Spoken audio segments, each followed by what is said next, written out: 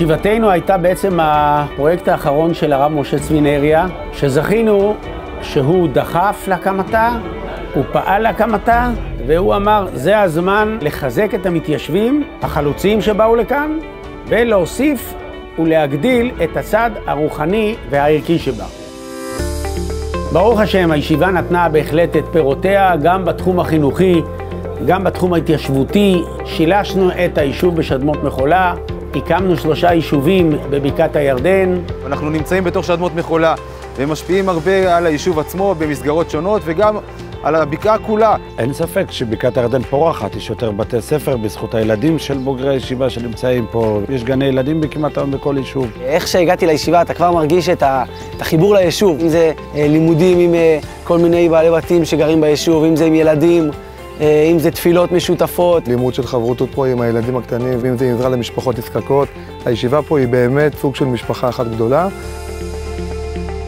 אחרי שעברנו את השלב הראשון של התחדשות הישיבה, הן על ידי תוספת אה, ר"מים צעירים וראש ישיבה נוסף, והן על ידי שיפוץ בית המדרש, וכעת אנחנו נמצאים בשלב החשוב של בניין הפנימייה.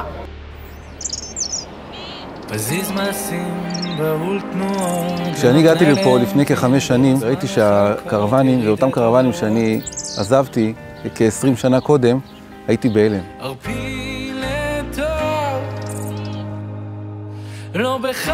לא תמיד אה, נעים כל כך לחזור לחדרים, כי יש פעמים, נגיד, פתאום אין אה, מים, אין חשמל.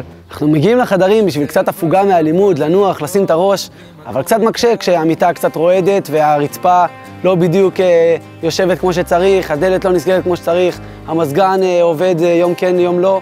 אחד הבחורים אמר לי שהמבנים האלה לא ראוי לשים בהם מזוזה בגלל שהם לא ראויים למגורי אדם. פנימיות חדשות הם אה, הכרח במצב שבו הישיבה קיימת, גם כדי לאפשר לבחורים תנאים נאותים, תנאים של בני תורה שהם ראויים להם, וגם כדי לעודד תלמידים אחרים שירצו לבוא, ובשביל זה אנחנו חייבים, מוכרחים באמת להתפתח הלאה ולהתחדש.